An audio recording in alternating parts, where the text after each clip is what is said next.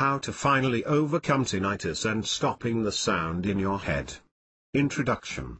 I want to thank you and congratulate you for downloading the book, The Tinnitus Cure, How to Finally Overcome Tinnitus and Stopping the Sound in Your Head.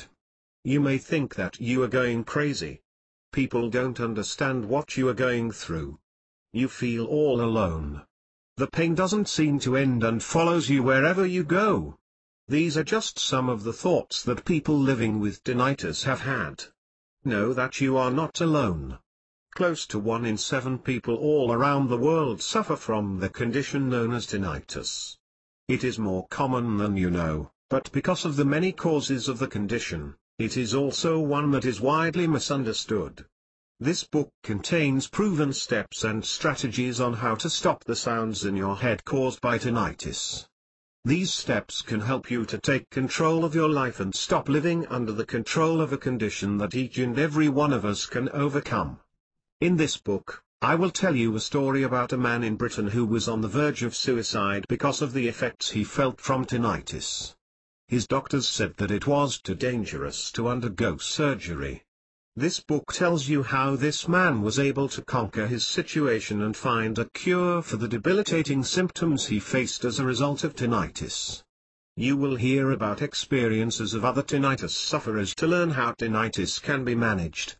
It also provides your family and friends with steps they can take to better support you at this difficult time. Make the right choice and take control of your life. End the power that tinnitus has on your life. Make the change today so that you can manage the symptoms of tinnitus and become the master of your life again. Thanks again for downloading this book, I hope you enjoy it. This document is geared towards providing exact and reliable information in regards to the topic and issue covered. The publication is sold with the idea that the publisher is not required to render accounting, officially permitted, or otherwise, qualified services. If advice is necessary, legal or professional, a practiced individual in the profession should be ordered. From a declaration of principles which was accepted and approved equally by a committee of the American Bar Association and a committee of publishers and associations. In no way is it legal to reproduce, duplicate, or transmit any part of this document in either electronic means or in printed format. Recording of this publication is strictly prohibited and any storage of this document is not allowed unless with written permission from the publisher. All rights reserved. The information provided herein is stated to be truthful and consistent, in that any liability, in terms of inattention or otherwise, by any usage or abuse of any policies, processes, or directions contained within is the solitary and utter responsibility of the recipient reader. Under no circumstances will any legal responsibility or blame be held against the publisher for any reparation, damages, or monetary loss due to the information herein, either directly or indirectly. Respective authors own all copyrights not held by the publisher. The information herein is offered for informational purposes solely, and is universal as so. The presentation of the information is without contract or any type of guarantee assurance, the trademarks that are used are without any consent, and the publication of the trademark is without permission or backing by the trademark owner. All trademarks and brands within this book are for clarifying purposes only and are the owned by the owners themselves, not affiliated with this document. Chapter 1 What is tinnitus? Can someone please kill that fly? The buzzing is so annoying. You turn to see the puzzled looks of your friends and family as you swat at the empty airspace surrounding your head. Then the little child at your feet pipes up I can't hear any buzzing, there's nothing there. In your mind, you wonder if you are going crazy, because even though no one else can hear the buzzing you know that you can hear buzzing. You are not alone, in fact, there are 50 million Americans that suffer from similar experiences. The buzzing or ringing in the ear, when there is no external source for the sounds, is referred to as tinnitus. The term tinnitus is taken from the Latin word tinnitus which means ringing. While the term is in reference to a ringing sound, some people hear buzzing, whistling, roaring or humming.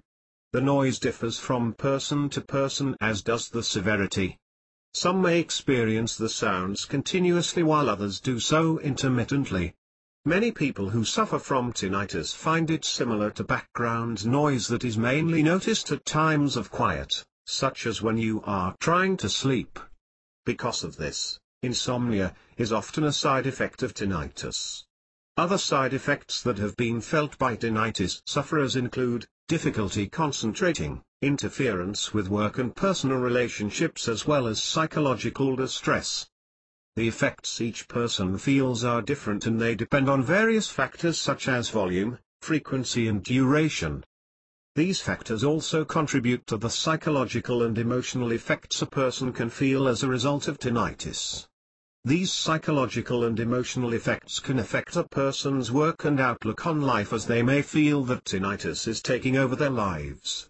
While tinnitus is quite common, sufferers may also feel left out, as not many people understand the condition and overlook a person's suffering. Tinnitus can also affect a person's social life, because the condition can cause patients to feel fatigued making them too tired to participate in social activities. Furthermore, because loud sounds such as music, laughter or loud talking can sometimes increase the effects of tinnitus, Many find it is easier to stay away from social gatherings where they know loud noises will be present. Tinnitus can also be a challenge on personal relationships. Studies have found that relationships suffer as a result of lack of sexual drive, lack of understanding of the tinnitus condition and also because of the stress related to tinnitus. To many, a ringing in the ears sounds harmless and not worth mentioning, but it is clear that the effects of tinnitus go far and beyond what many will be able to comprehend having not personally felt the effects of the condition. Chapter 2 Tinnitus Causes Tinnitus is not a disease, it is a condition that is brought about by a fault in the hearing system. These faults could be brought about by a number of different causes. Loud noises, some prescription and non-prescription medicines, neurological damage, age-related hearing loss, earwax blockage, ear bone changes, chronic health conditions, injuries, ear problems, Meniere's disease, TMJ disorders, acoustic neuroma, metabolic and psychiatric disorders are some of the causes that could result in tinnitus. Mayo Clinic states that a common cause of tinnitus is inner ear cell damage. Tiny delicate hairs in your inner ear move in relation to the pressure of sound waves. This triggers ear cells to release an electrical signal through a nerve from your ear, auditory nerve, to your brain. Your brain interprets these signals as sound. If the hairs inside your inner ear are bent or broken, they can leak random electrical impulses to your brain, causing tinnitus. Luckily, many of these mentioned causes are preventable. Two of the easy ways to prevent tinnitus are avoiding loud noises and being mindful of what prescription and non-prescription medicines you take. Exposure to loud noise is often a part of one's profession, however. In these cases, it is best to protect yourself by wearing headphones that reduce loud noises when working around lawnmowers, chainsaws and in industrial sites. Loud music from cars and through headphones as well as at concerts can also affect hearing and should, therefore, be done with caution. Medicines are meant to alleviate sickness and, in most cases, they do. However, we often forget the side effects that are linked to the use of certain medicines, whether prescription or non-prescription. It is important that we are vigilant in discussing whether or not tinnitus is a side effect with our doctors and pharmacists to ensure that we are not putting ourselves at risk unnecessarily. It has been found, in many cases, that once the patient ceases to take the medicine causing the tinnitus, so did the tinnitus, but in some cases the tinnitus has continued. This is a risk that you and your doctor will have to discuss, when you use such medications. Chapter 3 Tinnitus Symptoms While the symptoms of tinnitus are usually sounds such as hissing, roaring, ringing or whooshing they are ordered into two categories, objective and subjective. The University of California San Francisco Medical Center described objective tinnitus as the form is audible to an observer either with a stethoscope or simply by listening in close proximity to the ear. Objective tinnitus accounts for less than 5% of overall tinnitus cases and is often associated with vascular or muscular disorders. The tinnitus is frequently described as pulsate, which means it is synchronous with the patient's heartbeat. The University of California San Francisco Medical Center described subjective tinnitus as audible only to the patient and is much more common, accounting for 95% of tinnitus cases. Subjective tinnitus is a symptom that is associated with practically every known ear disorder and is reported to be present in over 80% of individuals with sensorineural hearing loss, which is caused by nerve and slash or hair cell damage. Other than the ringing in the ears and head, some patients have found that they felt more sensitive to everyday sounds, which is known as hyperacusis. This is where sounds from the television or radio that are at a normal volume to everyone else feel extremely loud for the person suffering from tinnitus. Tinnitus is also linked to a person's posture. The way that a person stands and, sometimes, the way they lie down can cause a different pressure in their nerves, muscles and blood veins. It is this change in pressure that can cause the tinnitus sounds. Most tinnitus sounds are high-pitched, and there are also low-frequency tones. Some may hear a song or tone repeatedly in their head which is referred to as musical hallucinations. Low-frequency tones and musical hallucinations together with pulsatile tinnitus are some of the less frequent forms of tinnitus. If you experience any of these symptoms it is best to go to the doctor for a correct diagnosis. Chapter 4 Tinnitus Diagnosis If you are hearing sounds that no one else is hearing you may want to go see your doctor in order to determine whether or not you are suffering from tinnitus. Your doctor will most likely perform three tests, a hearing exam, a movement test and an imaging test. During the hearing exam, you will sit inside a booth wearing headphones, and the doctor will play various sounds on either side of your head. Through this exam, you will be able to discover the frequency at which the tinnitus sounds are being heard. This is important as it helps you find the treatments that will help you the most, in the future. During the movement test you can expect your doctor to ask you to move your eyes, clench your jaw and even move your arms and legs to see if the condition worsens. An imaging test could be either an MRI or a CT scan. This will allow the doctor to see images of your head, brain and ears. These three tests will enable the doctor to conclude whether or not you have tinnitus how your tinnitus came about and diagnose treatments whereby you will be able to manage your tinnitus successfully. A clicking sound can sometimes result from muscle contractions in or around the ear. Rushing and humming are indicative of a vascular, blood vessels, origin. Hearing a heartbeat could show that there is a possibility of a blood vessel problem such as high blood pressure, blockage, a tumor or an aneurysm. Stiff inner ear bones can cause you to hear low-frequency sounds, while an earwax blockage or foreign body in the ear can cause you to hear a variety of sounds.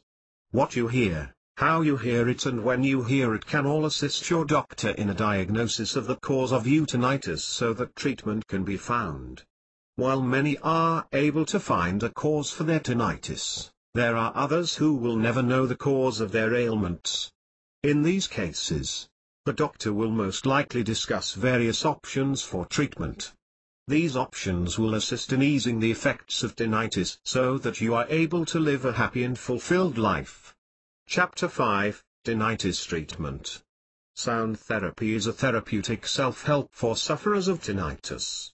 It relies on a specially developed classical music recording that people with tinnitus can listen to anywhere and at any time, allowing them to handle their tinnitus whenever it is suits them.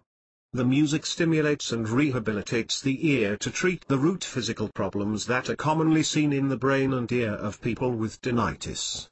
Certain stimulants can make the symptoms associated with tinnitus worse.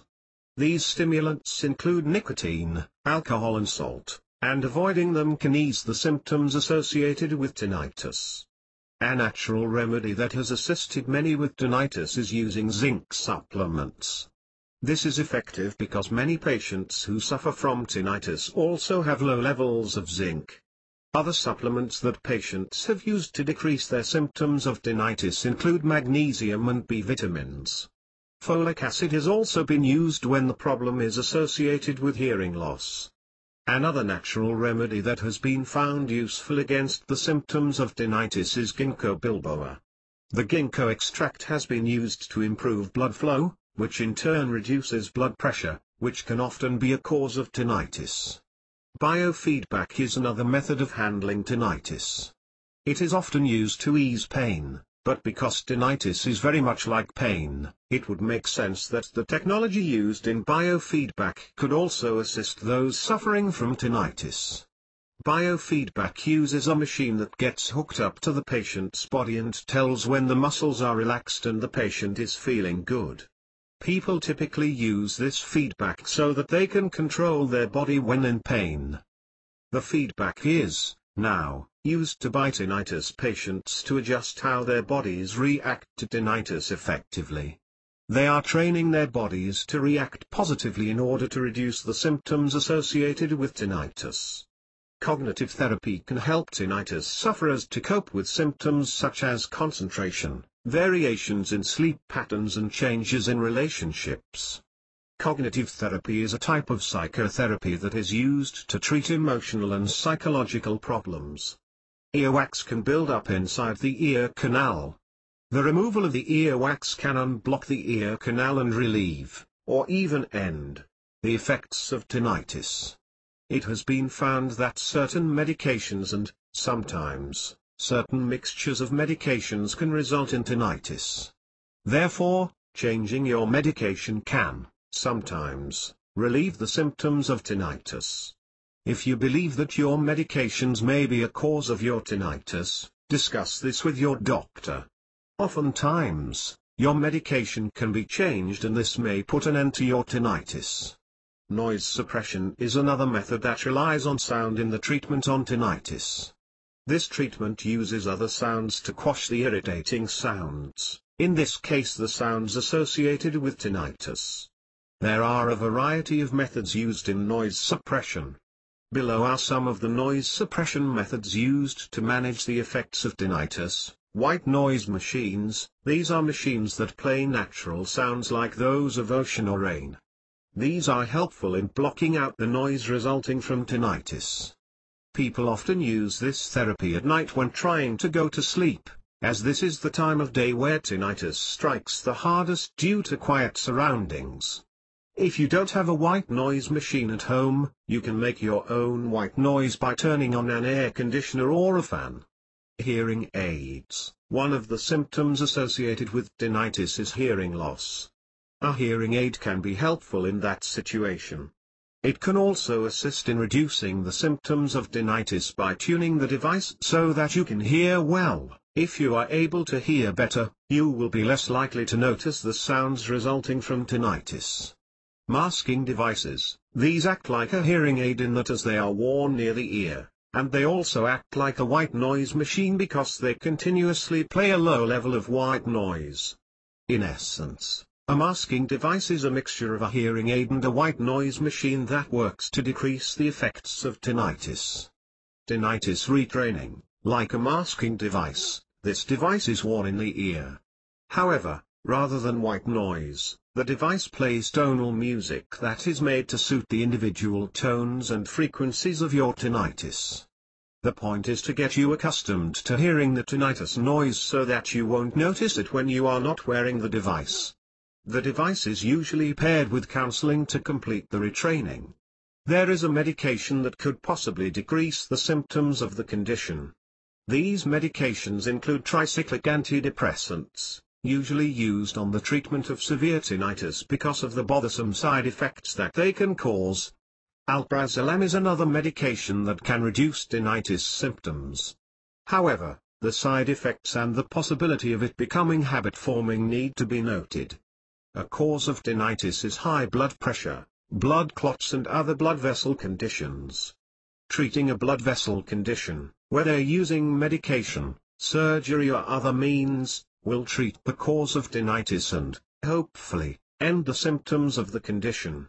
Be reminded that sometimes, even though the cause of tinnitus has been found and successfully treated, the symptoms associated with tinnitus may still remain. In such cases, you can talk with your medical practitioner about options to manage these symptoms. Another way to manage the symptoms of tinnitus is to avoid possible irritants. As an asthma sufferer, you quickly get to know the things that make your asthma worse such as dirt, dust and even heavy exercise. Like asthma, tinnitus sufferers will learn what irritates their symptoms and makes them harder to handle. Some irritants include loud noises, certain head positions and maybe even foods. In these cases, it is best to avoid these irritants so that you are able to manage your symptoms more effectively. Stress can make your tinnitus symptoms worse, and it can also make it harder for you to think clearly. Managing stress is an easy way to manage the symptoms of tinnitus. It allows patients to be more in tune with their bodies, and it helps them realize when to seek necessary help, if needed. There are many ways that to manage stress, and it is all reliant upon what is comfortable for each individual. My neighbor swears that yoga helps her to feel at one with her body and assists in removing the stress that she feels. I, on the other hand, feel uncomfortable with the different stances involved in yoga, so it becomes a source of stress for me instead of a source of stress relief. The way that you choose to manage your stress should be something that you are comfortable with, be it bike riding, running, reading, singing or even having a long bath. You may have to try different activities to find what suits you best. Hypnotherapy, another tinnitus treatment with high success rate is hypnosis. It is one of the best ways of reducing tinnitus volume, as well as, the stress, anxiety and depression that normally accompany tinnitus. Studies show that over the long term, a well-designed hypnotherapy program has a 69% success rate of reducing tinnitus noise. Usually you will need more than one session of hypnotherapy, it is a long-term solution, to be used possibly in conjunction with other therapies. The process of hypnosis puts a person into a state of heightened awareness and focused concentration known as the alpha state. Recent studies have shown this state of mind to be superior for learning, memory recall and training the mind to overcome what most people consider to be their bad programming from past experiences, including tinnitus. Under this type of treatment, a tinnitus sufferer can work towards reducing the tinnitus sound by reprogramming the mind on how it listens to the tinnitus. In internet you find several programs for hypnosis tinnitus therapy, for example a hypnotic tape developed by Dr. Jonathan Parker, a tinnitus sufferer himself. More info www.hernet.com or http colon slash slash bit.ly slash 16 ids 4t. A Tinnitus Reduction Program by Kevin Hogan, more info www.kevinhogan.com or http colon slash slash bit.ly slash onesenbitched. Or you find a personal hypnotherapist who has experience of using hypnosis in conjunction with tinnitus, and this might not be your local hypnotherapist. Acupuncture is part of the traditional Chinese medicine, TCM, in Western medicine, doctor looks for specific causes of diseases, and focuses on particular body components to treat. TCM doesn't work in this way. There are fundamental differences in principles, diagnosis and treatment approaches between Western medicine and Chinese medicine. The Chinese diagnosis investigate which type of tinnitus is present, kidney, water, liver, wood, heart, fire, spleen earth, lung, metal. Therefore, each tinnitus sufferer will be pierced in individual acupuncture points. In addition, TCM offers nutritional advice, Chinese herbal medicine, relaxation with Tai Chi Qigong. And the Chinese medicine characterized tinnitus into ways, one that sounds like a low continuous tone and another that is more like a roaring, hissing sound that has been compared with that of cicadas make on a hot summer night. The latter often corresponds to a sudden onset and is more easily treatable with acupuncture and CM. The former type, that is with the low tones, is more chronic and therefore harder to treat. So it is difficult to say how effective acupuncture is in stopping tinnitus generally, because tinnitus comes from many different causes, but it can be very effective in the treatment of tinnitus. Counseling is something that people are, sometimes, skeptical about, especially if they have not tried it before. However, therapy can be an important part in learning how to deal with your tinnitus. Many people will put on a strong fade when dealing with their families and friends, not wanting to make them feel bad and not wanting to be treated differently. Having somebody with enough background on the topic with whom you can talk freely allows you to vent and avoid bottling up your feelings. More importantly, you will also have the benefit of having a medically trained professional offering you sound advice on how to cope with your situation. Surgery There is a story of a man in Britain who was on the verge of suicide because his ongoing suffering as a result of tinnitus. His doctors said that it was too dangerous to undergo surgery. His desperation left him researching all the available therapies, and to send his scans to another doctor in America for a second opinion. This doctor suggested ways to remove the symptoms of tinnitus through surgery. The British man presented these to his doctors who agreed to the treatment and performed the surgeries. As a result, the man was able to cure tinnitus through surgery. Surgery is not an option that is highly recommended to treat tinnitus. However, it has helped. This is not saying that surgery can cure all tinnitus conditions. Because of the variety of tinnitus's causes, you cannot slap a single treatment that cures any case. That is why it is stressed that the treatment should address the cause rather than the effects of tinnitus. Families and friends love you and will support you, but, sadly, they will never fully understand what you are going through. Support groups offer you the opportunity to share your experiences with others who are facing the same problems as you. Being part of a support group also allows you to learn from the experiences of others, so that if you ever find yourself in the same situation you will know how to deal with it.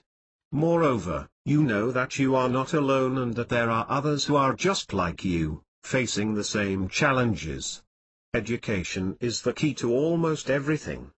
The more educated you are on the symptoms, effects, treatments and the effects of tinnitus on yourself and those around you, the more empowered you will be in the face of these challenges.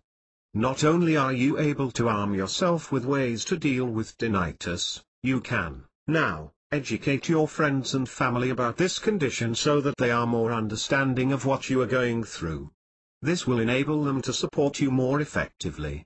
Tinnitus is not a disease, it is a condition, and as such can be treated successfully so that you can continue to live a happy and fulfilled life. Conclusion Thank you again for downloading this book. I hope this book was able to help you to overcome your tinnitus and stop the noises in your head. If you treat the underlying cause of tinnitus, the effects will disappear. As we mentioned earlier, Sometimes we are unable to find a cause for tinnitus, and in these cases, you should consult with your doctor and find ways to manage tinnitus's symptoms, so you can live a happy healthy life. The more you know about tinnitus and its various methods of treatment, the easier it will be for you to develop ways to handle and treat your tinnitus. One in seven people around the world suffer from the effects of tinnitus, it not a rare condition because the causes vary so greatly from one patient to the other, there is no single cure for the condition. There are very successful treatments that can end the symptoms of tinnitus and there also are treatments that can help alleviate the symptoms. It's important to keep in mind that the severity of the symptoms differs greatly for each person, and that the effects of the condition also vary. With medical assistance and the support of your friends and family, the symptoms associated with tinnitus can be coped with and you can live as normal a life as the next person. Finally, if you enjoyed this book, then I'd like to ask you for a favor, would you be kind enough to leave a review for this book on Amazon?